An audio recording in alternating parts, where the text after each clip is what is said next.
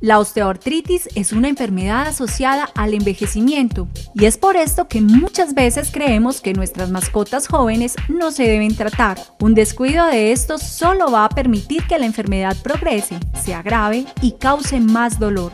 El tratamiento veterinario es fundamental, sumándole un eficaz control dietético y ejercicio rehabilitador.